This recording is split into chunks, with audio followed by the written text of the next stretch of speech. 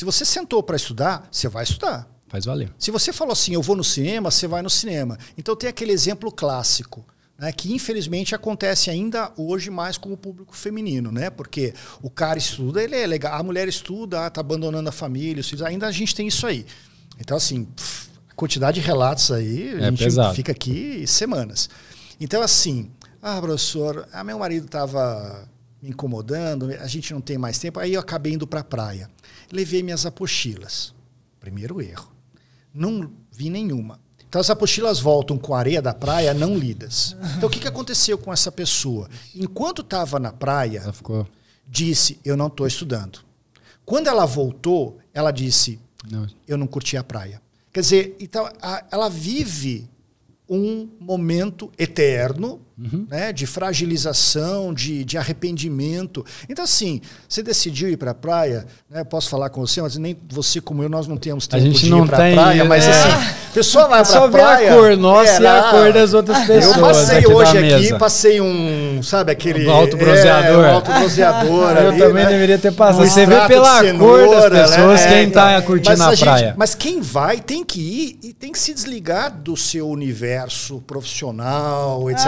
Essa aqui trabalhou, é. E quem, não, e quem não vai, porque não pode, porque não quer, porque não tem dinheiro, tem que sentar e estudar. Total, é. então, assim, é muito difícil fazer isso. Falar é sempre muito fácil. Não, é difícil. né? Mas é isso, é aproveitar o seu momento. Porque senão você vai na academia e você tá lá na esteira ouvindo aula, para algumas pessoas isso não, não interfere em absolutamente nada de forma positiva. Nem ouve de fato o que está sendo ali. Tem gente que consegue, mas nem ouve a aula e não faz o exercício, não se vê fazendo o exercício, não curte o momento de fazer o exercício. É o E estar aí- presente, né? A gente É. precisa fazer É, a coisa, mas é, as mas é assim. Estando eu, presente. Total. Eu falo que o concurseiro ele tem dois modos, né? Ou ele está estudando, ou ele está reclamando que deveria estar estudando. Então é uma vida meio ingrata, né? Porque quando ele não está estudando, ele fala, É. putz, eu tinha que estar fazendo tal coisa. E aí também entendi que ele era para ter estudado e não estuda, enfim. É, é só esses dois modos. Gente Eu tá aprendi sempre- isso na carne, porque eu cheguei uma vez na minha casa, meu filho tinha o que, uns seis anos de idade, e meu filho falou assim, pai, você vai continuar morando aqui em casa ainda? e aquilo, aquilo me deu um choque, né? E, e aí eu fui conversar com ele para tentar entender. Então o que, que tinha acontecido? Ali na, na, na- escola, um, um menino, colega dele, filho de pais separados, e daqueles divórcios assim, extremamente desagradáveis. O pai ficou de passar o menino, é, tinha sido o dia dos pais. O pai ficou de passar lá para pegar o menino, não foi, não ligou, não avisou, o menino estava chorando na escola. E aí o menino começa a falar: meu pai não está nunca em casa e tal. Meu filho falou assim: é, meu pai Meu também pai não. Tá, tá indo. E aí, ele, e aí a gente conversando. E aí eu fui para minha agenda. Naquele dia, nunca vou esquecer desse número. Naquele dia fazia 33 dias que eu estava trabalhando seguido. Sábado, domingo. Porque antigamente trabalhava sábado, domingo direto. É, eu Eu lembro minha hoje. esposa vai. comentando. Minha esposa comenta isso até hoje. Quando a gente casou, eu achei estranho que você saía para trabalhar. E você chegava em casa, o que você fazia? Você ia trabalhar. Essa coisa do professor de preparar material, de estudar, não, porque eu preciso fazer. Eu tenho meus gráficos lá de análise de banca e tudo mais, dos últimos seis meses até os últimos 15 anos. Então, assim, é um trabalho complicado fazer tudo isso. Né? É muito bacana o resultado, mas até chegar lá. Então, eu, aí eu cheguei para minha esposa e falei assim: ah, a gente vai ter que fazer um. a gente vai ter que fazer aqui um- uma mudança. Nós vamos ter que mudar a nossa, a nossa eh, vida financeira, porque eu vou trabalhar Diminuir. menos para estar mais presente. Eu morava na zona norte de São Paulo, minha esposa de final de semana levava meu filho no, no Horto Florestal para dar banana para o macaquinho. Eu nunca tive essa vida com eu não, ti, eu não tive esse momento com ele.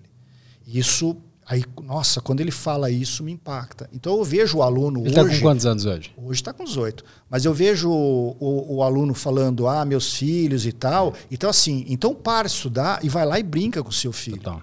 Né? Porque, e assim, eu, eu, não, eu não falo porque eu li, eu falo porque eu Viveu. vivi. E olha o que, que aconteceu. Eu cheguei para alguns amigos, né, donos de escola, falei: olha, não posso mais vir dar aula aqui, fora de São Paulo. Cheguei para um outro, falei assim: eu vou ter que reduzir a carga horária.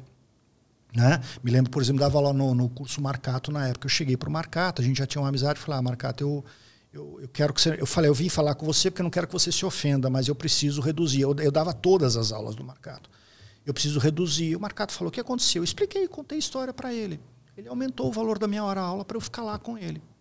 Resumo da ópera, olha que curioso. Eu comecei a trabalhar aproximadamente 30% a menos e ganhava já um pouco mais. Olha. Porque eu achava que eu tenho, veja, eu tenho que dar uma vida melhor para minha família. Portanto, eu preciso trabalhar mais para ganhar mais dinheiro. É.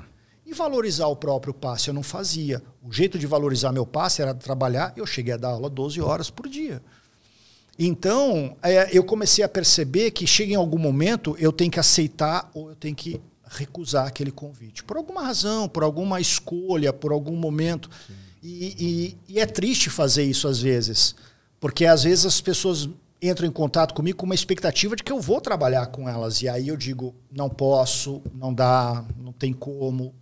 Às vezes é, eu tenho que lidar com essas coisas também. Então, para o aluno, eu sempre digo, aproveite o seu momento, o seu momento de lazer, seu momento de sono, é. seu momento de estudo porque quanto mais você tem um lazer de qualidade, um exercício de qualidade, um sono de qualidade, melhor você vai estudar. Total.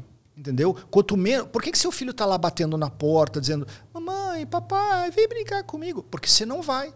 Se você ficar meia hora do dia focado na criança, é. a criança depois já brinca sozinha.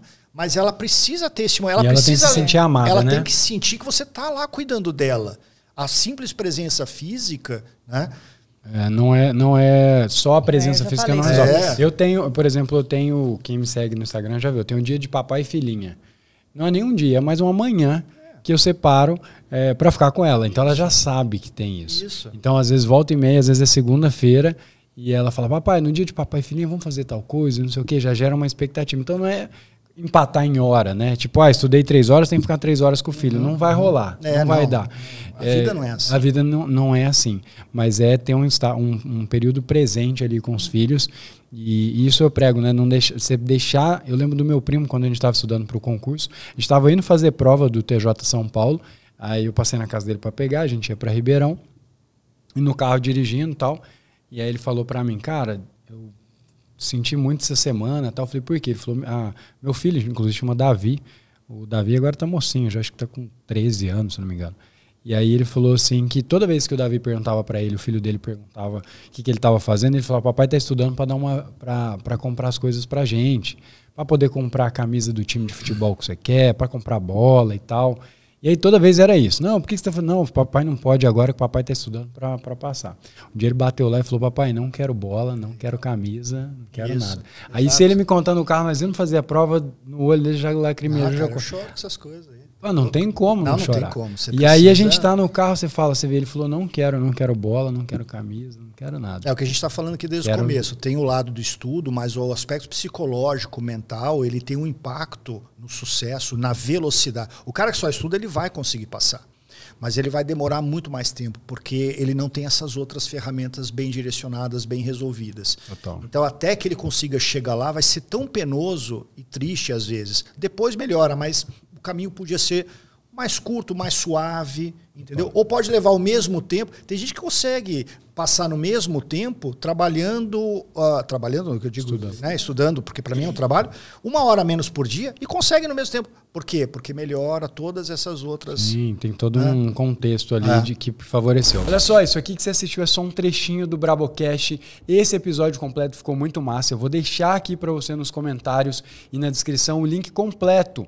E não se esqueça também de se inscrever no canal do Brabocast se você quer ser aprovado, quer ver histórias inspiradoras. Esse é o lugar para o concurseiro. Então já clica também no se inscrever e vai lá assistir o episódio completo.